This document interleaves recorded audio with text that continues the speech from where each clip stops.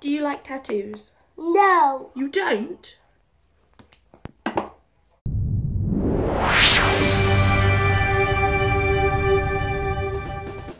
Hi guys! Rant time. So very, very annoyed. So I'm in the bar, minding my own, pulling some pints, as you do. And the amount of times I get comments on my tattoos is ridiculous. Now I don't mind it if someone is a fellow tattoo lover or has similar tattoos or likes the style. So I get a lot of comments like that. Don't really mind, whatever. Don't like it when you touch me though. Don't touch my arm. If I didn't have tattoos on my arm, you'd think that was really weird. So don't do it. So here are some actual conversations that I have had whilst at work. Real life conversations. You may think that I'm over exaggerating it, but I'm not. Um, so yeah, here you go. What you got all those tattoos for? Um, what do you mean? Well, why you would you do that to yourself for? Because um, I like tattoos. Ugh. Or you think women should have tattoos? Okay. They just look all, you know, horrible.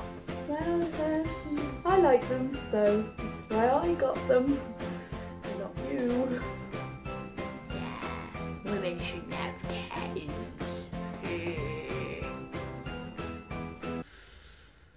So very, very annoyed. Are they drawn on? Did you doodle all over yourself? No, no, they're they're tattoos. Ugh. Oh no, oh no. Don't draw them on every day. They're uh, they're real tattoos. Oh, no.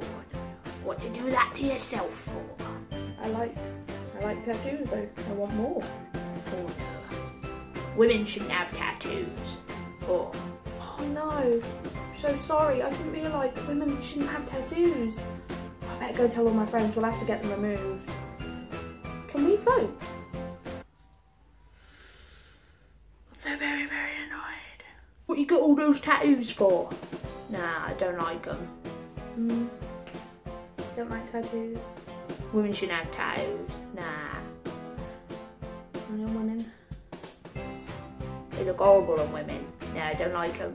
All tattoos look horrible on women. Mind you, my wife has got a very large tattoo on her back. Covers her whole back. That looks really nice. Oh yeah, what's she got? Giant horse's head. Yeah, subtle. It's nice.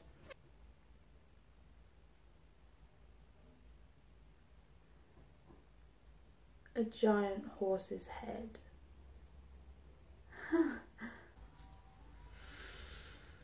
so very, very annoyed. So yeah, there you have it guys. Women aren't allowed to have tattoos. I mean, I'm really sorry to have to tell you this. But it's better you know now. I've got appointments now to cover all, to, to, to get rid of all these. Also, um, get back in the kitchen, all you lazy women we've got some sandwiches to make. Alright? Thank you for watching. Bye!